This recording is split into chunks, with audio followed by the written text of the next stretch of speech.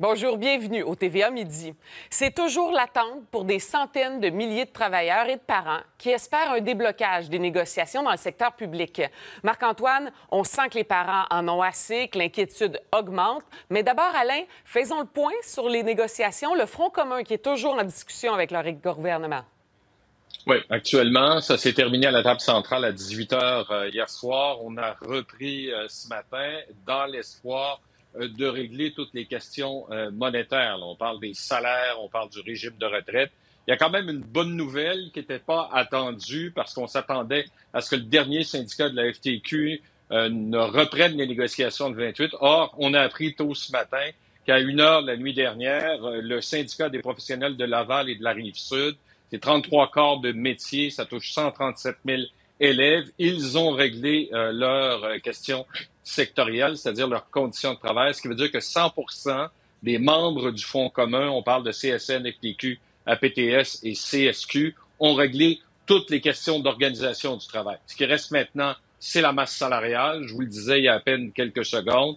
Euh, on sait que le Fonds commun demandait des augmentations salariales de 23 Le gouvernement, dans sa dernière offre bonifiée, parlait d'un peu plus de 12,7 Là, il faudra trouver une piste d'atterrissage, surtout que le Front commun a exprimé qu'il allait exercer son droit de grève générale illimité au mois de janvier. Mais attention, il n'y a pas de date fixée et le Front commun doit donner un délai de dix jours avant d'aller en grève.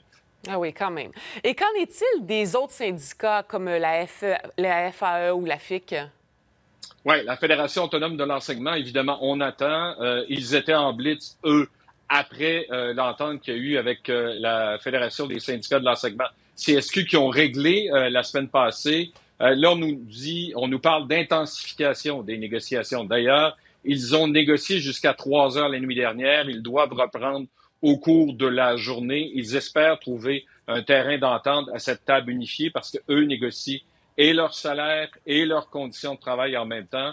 Du côté de la FIC, c'est toujours la conciliation, ça se poursuit tout comme euh, le syndicat des professionnels du gouvernement du Québec et le syndicat des fonctionnaires du gouvernement du Québec également. Est-ce qu'il y aura des ententes au cours des prochaines heures? Je ne me prononce plus, ça fait dix jours que j'essaie de le faire, et ma boule de cristal Ah oui, bon, on va appeler euh, Nostradamus. Mais merci, Alain, d'avoir été avec nous. À bientôt.